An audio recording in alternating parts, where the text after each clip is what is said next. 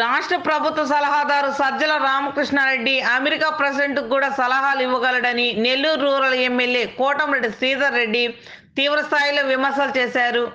శుక్రవారం స్థానిక రూరల్ కార్యాలయంలో జరిగిన విలేకరుల సమావేశంలో మాట్లాడుతూ ప్రభుత్వం ఇసుక మద్యం రూపంలో వేల కోట్ల రూపాయలు దోచుకుంటుందని దాని మీద సజ్జల రామకృష్ణారెడ్డి వివరణ ఇవ్వాలని అన్నారు.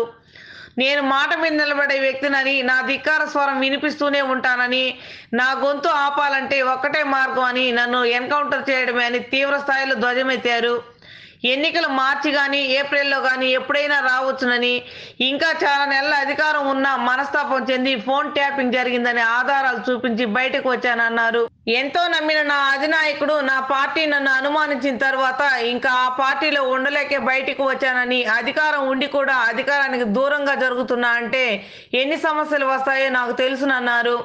నేను ఫోన్ ట్యాపింగ్ చేశానని ఆరోపణ చేసిన వెంటనే ఈ ప్రభుత్వం విచారణకు ఆదేశించి ఉంటే సంతోషించి ఉండేవాడినని కానీ ఎటువంటి విచారణ చేయకుండా నా మీద మంత్రులు జిల్లా కోఆర్డినేటర్లు అనేక మాటలు అంటున్నారన్నారు.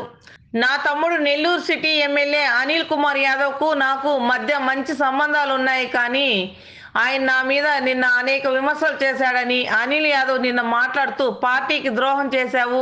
ఆ పాపం నీ బిడ్డలకు శాపంగా తగిలి సర్వనాశనం అయిపోతావని అన్నావు. ఆ మాటలకు వివరణ ఇస్తున్నా అన్నారు. పక్కదారి పట్టించే రీతిలో వేరే రక ప్రయత్నాలు చేస్తున్నారు. ప్రజలకు గమనించమని చెప్తున్నారు ఇకపోతే భూకుమ్మడి ఆరోపణలు. గత ఐదు రోజులుగా రాష్ట్ర ప్రభుత్వంలో మంత్రులు సలహాదారులు రీజనల్ కోఆర్డినేటర్ నన్ను ఒక్కడిని చేసి నన్ను ఒక్కడిని చేసి మూకుమ్మడిగా దాడు. అనేక రకాలుగా సోషల్ మీడియా అనేక రకాలుగా విష ప్రచారం ముఖ్యంగా మిగతా ఆరోపణలంతా పక్కన పెడితే నా తమ్ముడు నెల్లూరు నగర శాసనసభ్యులు అనిల్ కుమార్ యాదవ్ గారు ఓ మాట అన్నారు. నిజంగా బాధేసి లేకుంటే అనిల్ కుమార్ యాదవ్ గారి మీద నేను మాట్లాడే ప్రశ్న లేదు. మాట్లాడడం కూడా.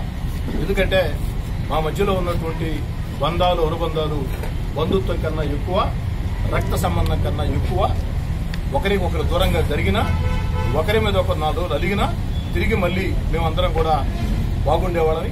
ఈరోజు రాజకీయంగా నేను దూరంగా జరిగాను కాబట్టి అనిల్ కుమార్ యాదవ్ అనే వ్యక్తి వైఎస్ఆర్ కాంగ్రెస్ పార్టీలో ఉంటాడు కాబట్టి నేను వైఎస్ఆర్ కాంగ్రెస్ పార్టీలో లేను కాబట్టి మా మధ్య రాజకీయ బంధాలు ఉండకపోవచ్చు కానీ కానీ అనుబంధాలు మాత్రం ఈ జీవితకాలం అతనికి చెందుకు నాకు అనిల్ కుమార్ యాదవ్ గారు మాట్లాడుతూ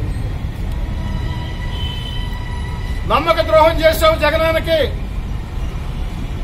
నువ్వు చేసిన నమ్మక ద్రోహం నీ బిడ్డలకి శాపంలా తగులుతుందని అనిల్ కుమార్ యాదవ్ గారు మీడియా సాక్షిగా ఏమండి మాట్లాడడం లేదండి మాట్లాడడం లేదండి ఏమండి మాట్లాడడం లేదండి మాట్లాడారు నాకు దొరికిన తర్వాత దూరంగా జరిగా ఒక్క మాట మాట్లాడుతుంది కానీ వైఎస్ఆర్ కాంగ్రెస్ పార్టీలో దాదాపు పది మంది మంత్రులు ఓ సలహాదారుడు ఓ రీజనల్ కోఆర్డినేటర్ అనేక మంది ఎమ్మెల్యేలు ఎవరైతే ఉన్నారో వారు మీడియా ముందుకు వచ్చి నా మీద ఏ విధంగా మాట్లాడారో ఎలా మాట్లాడారో మీకు తెలుసు.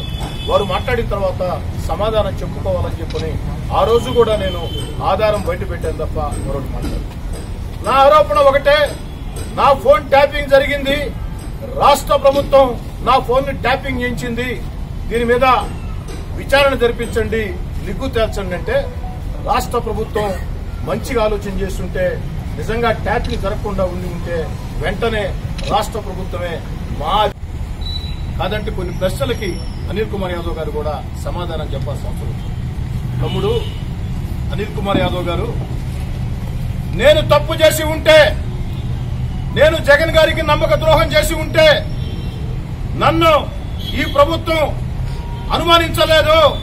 అవమానించలేదు. కేవలం పార్టీ నుంచి వెళ్ళిపోవాలన్న ఆలోచనతో ఒక దుర్మార్గపు కుట్ర నేను చేశాను అనుకుంటే మీరు కాదు అనిల్ కుమార్ యాదవ్ గారు నేనే భగవంతుణ్ణి ప్రార్థిస్తూ ఉన్నా నేనే భగవంతుణ్ణి ప్రార్థిస్తూ ఉన్నా దేవుడన్నా ప్రకృతన్నా ఎంత నాకు విశ్వాసమో మీకు అందరికీ తెలుసు. ఓ దేవుడా నేను గాని జగన్మోహన్ రెడ్డి గారికి నమ్మక ద్రోహం చేసి ఉంటే నేను గాని కారణం లేకుండా జగన్మోహన్ రెడ్డి గారికి దూరంగా జరగాలని నిర్ణయం తీసుకుని ఉంటే నేను చేసిన దాంట్లో తప్పు ఉంటే నన్ను సర్వనాశనం చేయి అని భగవంతుణ్ణి నేనే ప్రార్థిస్తున్నా. రుద్రాక్ష చేత పట్టుకుని భగవంతుణ్ణి నేనే ప్రార్థిస్తున్నా. ఈ రుద్రాక్ష చేత పట్టుకుని భగవంతుణ్ణి నేనే ప్రార్థిస్తున్నా. ఓ దేవుడా నేను గాని జగన్ గారికి నమ్మక ద్రోహం చేసి ఉంటే నన్ను ప్రభుత్వం అనుమానించకుండా నేనే అనుమానిస్తున్నారు అని అబద్దాలు చెప్పి ఉంటే నేను తప్పు చేసి ఉంటే నేను పొరపాటు చేసి ఉంటే నాకు అవమానం జరగలేదు అనుకుంటే ఓ దేవుడా నన్ను నువ్వు శిక్షించని చెప్పని ఆ దేవుడిని ప్రార్థిస్తుంది అంతేకాదు నేను తప్పు చేయకుంటే మరెవరినో నాశనం చేయి వారి బిడ్డలను నాశనం చేయి కుటుంబ సభ్యులను నాశనం చేయి అని నేను మాట్లాడు నేను తప్పు చేయకుండా ఉంటే ఓ దేవుడా నాకు అండగా నిలబడు. నేను తప్పు చేయకుంటే ఓ దేవుడా నాకు అండగా నిలబడు. నేను తప్పు చేసి ఉంటే ఖచ్చితంగా నూటికి నూరు శాతం నన్ను శిక్షించు. తమ్ముడు అనిల్ నా బిడ్డలు నిన్ను Anil uncle Anil uncle Anil uncle అని చెప్పని కలవరిస్తాడు అనిల్. రెండు వేల పద్నాలుగులో కాదు అనిల్. రెండు వేల పద్నాలుగు ఎమ్మెల్యేగా గెలిచావు. రెండు వేల తొమ్మిదిలో నువ్వు ఎమ్మెల్యేగా పోటీ చేసినప్పుడు తొంభై ఏళ్ళతో ఓడిపోతే నా ఇద్దరు బిడ్డలు చిన్న పిల్లలు. నా భార్య భోజనం చేయలేదని ఆ విషయం నీకు తెలుసు అనిల్. నా కుటుంబం నీ కుటుంబం వేరని నేను ఏ రోజు అనుకోలేదని మీరు ఒక మాట అన్నారు నిన్న నా మీద శ్రీధరన్న ఎత్తులు పై ఎత్తులు వేస్తాడు నేను వేస్తానని.